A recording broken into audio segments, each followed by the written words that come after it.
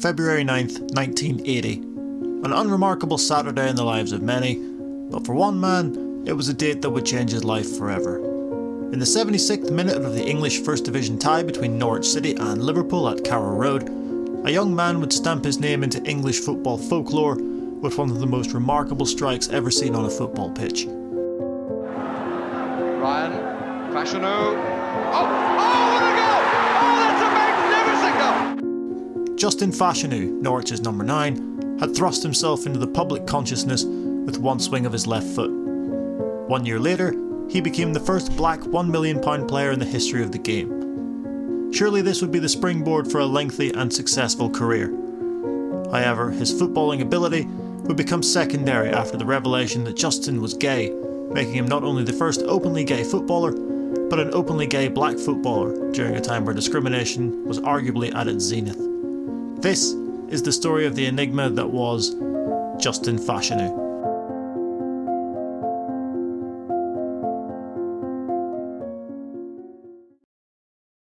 Born on February 19, 1961, Justinus Soni Fashanu was the son of a Nigerian barrister and a Guyanese nurse. Even from a young age, Justin, as well as his brother and future England international John, would not have it easy in life.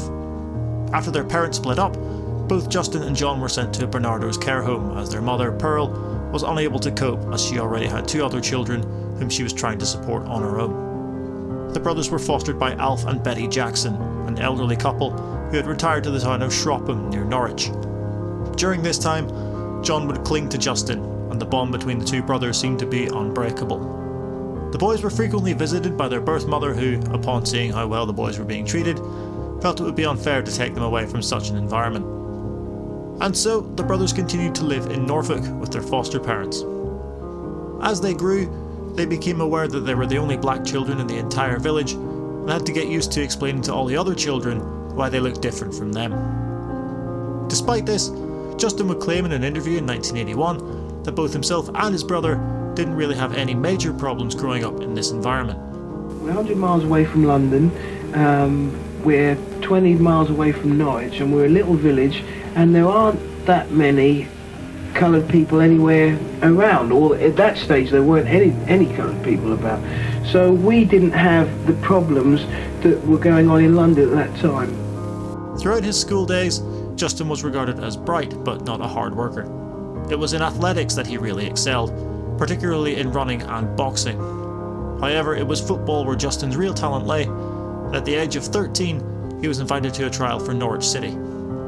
Former Chief Scout Ronnie Brooks immediately saw the ability that Justin had and took it upon himself to take Justin under his wing and guide the young man on the right path.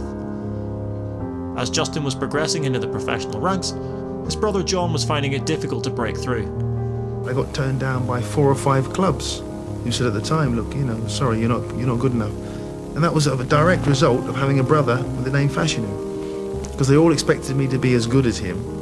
Justin made his league debut for Norwich on January 13, 1979, at the age of just 17 against West Bromwich Albion at Carrow Road. During his two seasons at Norwich, Justin scored 40 goals in 103 senior appearances, including that wonder strike against Liverpool, which won the Match of the Day Goal of the Season award in 1980. During this time, Justin was very outspoken about the fact that he was playing for black people and he wanted to inspire those who had suffered prejudices that they could indeed achieve great things.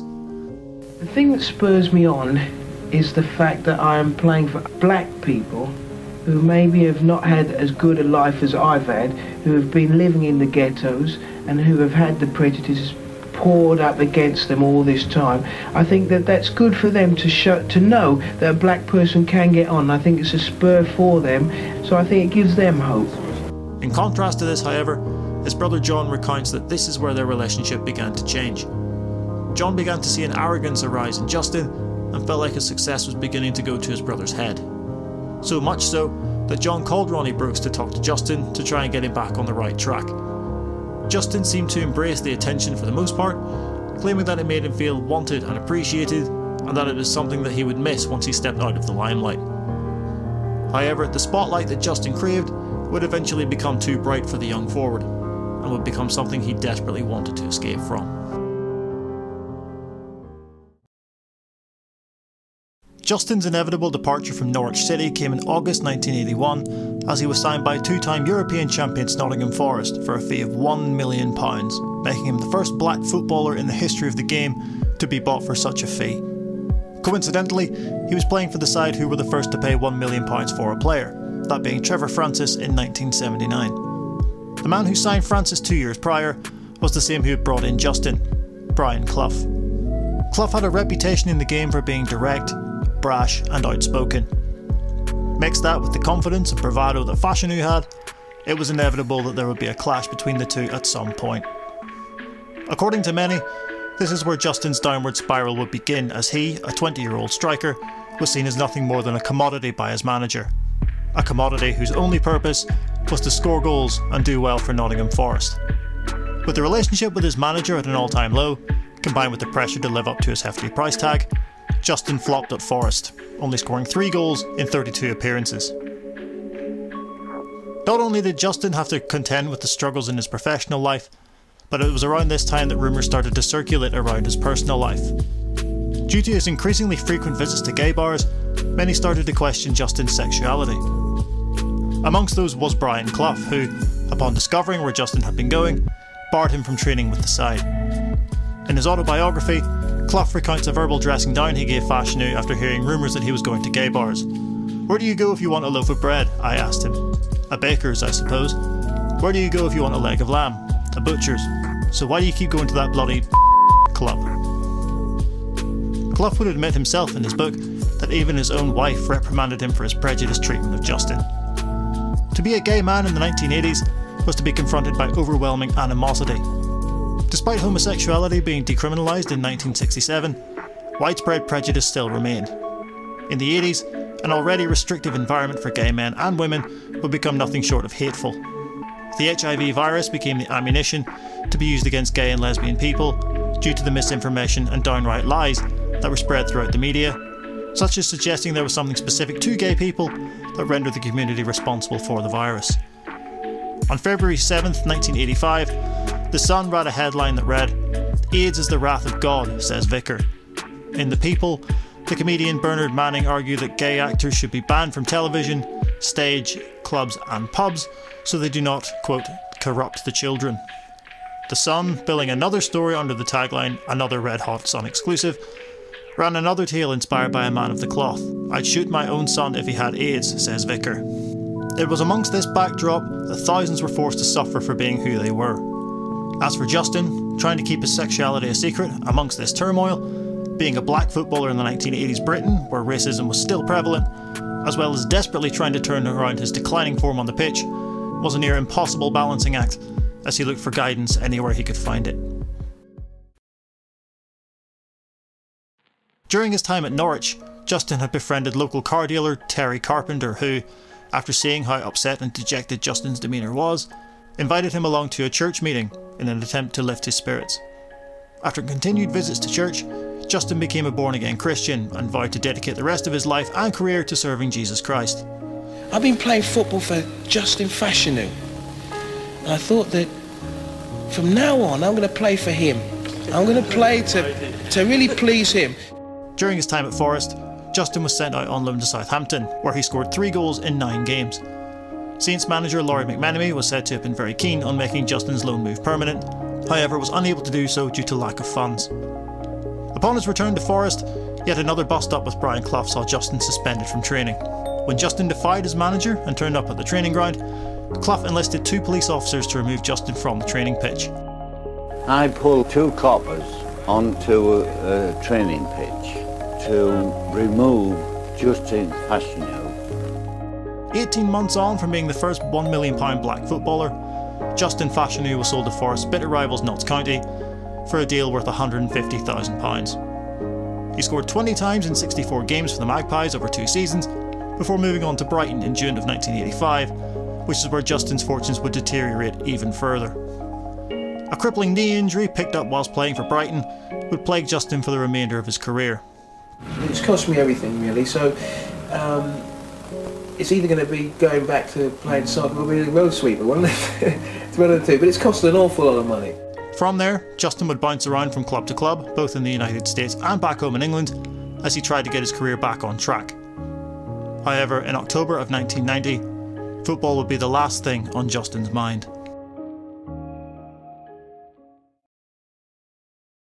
Despite Justin's career being on the wane, his superstar lifestyle didn't change.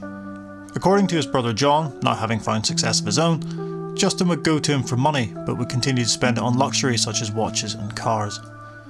John claims that the reason why he had his affairs in order was because he saw how Justin had spent his wealth, and he had used that as a template on how not to be wasteful and to take care of his money. It was this desperation for money that led Justin down a road that would ultimately define him as a man. Nine years on from rumours circulating about his private life, Justin found out that he was going to be exposed as gay by a newspaper. Panicking, he rang his agent Eric Hall, who persuaded Justin to take the decision out of that particular newspaper's hands, and instead give an exclusive to the Sun newspaper to say that he was indeed gay. The day before the story was due to break, he came out to his brother John and told him that his story was to be released in the Sun the next morning. In response, John offered his brother the same amount of money that the Sun was going to pay Justin for the story, allegedly around £75,000, so as to prevent Justin from signing off on the story being released. However, it was too late. On the morning of October 22, 1990, the world would now know that Justin Fashanu was gay. A camera crew turned up to John's training ground and interviewed him about the story, where he spoke about his disbelief and his hurt that his brother had done this, before saying that he wouldn't want to be in a facility with a teammate if he knew he was gay. But I wouldn't like to, to play or even get changed in in a vicinity. That's just the way I feel. So if I'm like that, I'm sure the rest of the footballers like that. On an episode of the BBC's Open to Question in 1992, Justin was asked about that interview. His response was one of disappointment that his brother wasn't more tolerant of the situation, especially with everything they'd been through together. In that same Open to Question interview, Justin claimed that he hadn't spoke to his mother since the story came out, as it was far too difficult for him to do so. In the following years after the story about Justin's sexuality broke, he would remain in the tabloids through fabricating stories of his private life in an attempt to make as much money as he could.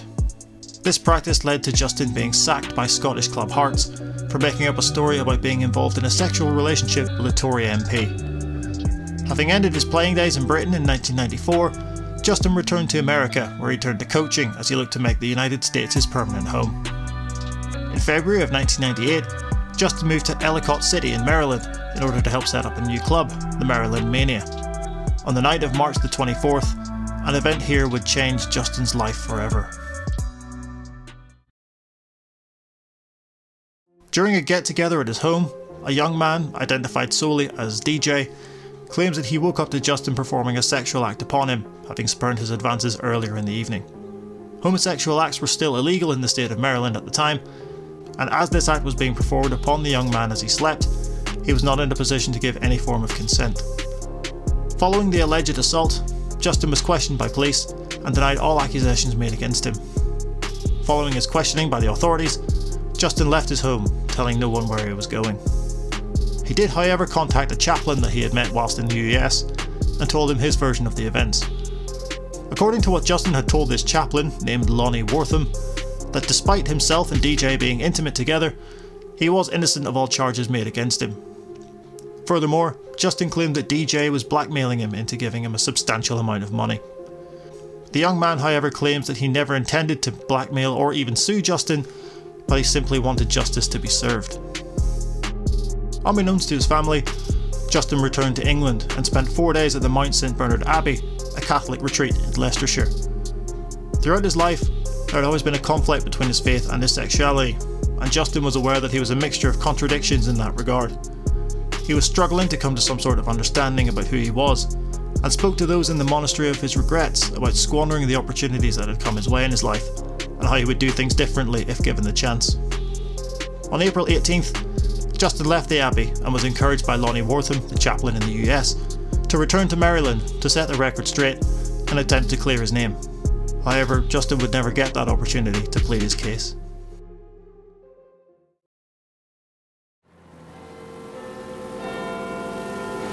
BBC Radio 4. It's 6 o'clock. The news with Corrie Corfield. The former footballer Justin Fashanu has been found dead in a garage in East London. It's understood Fashanu, who was 37, died from strangulation.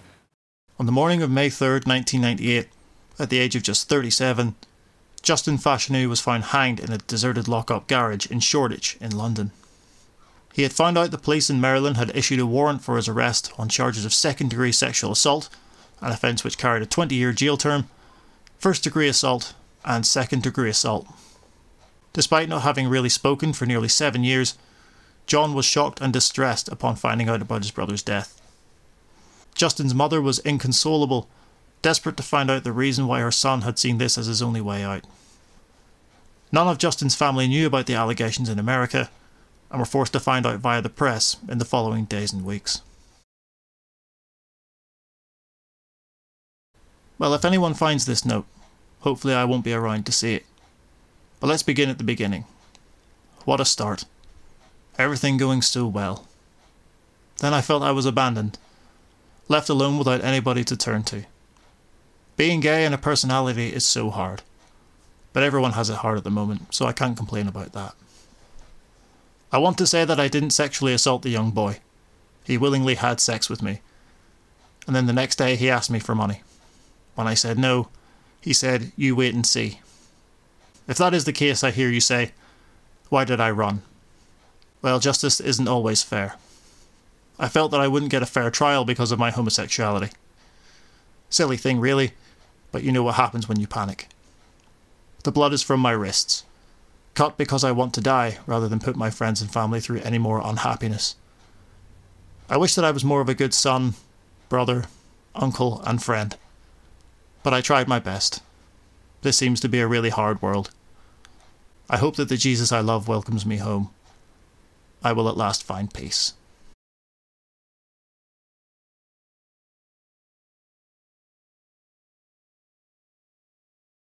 It's been over 20 years since Justin Fashanu took his own life, but his presence lives on stronger than ever in the gay community. Fashanu was listed at number 99 in the top 500 lesbian and gay heroes in The Pink Paper, a publication covering gay and lesbian issues. In March 2009, the football team, the Justin Fashanu All Stars, was named at a very special event in Brighton, supported by the FA. The team, named in his honour, was created by the Justin Campaign, which is a campaign against homophobia in football and promotes the inclusion of openly gay players in the game.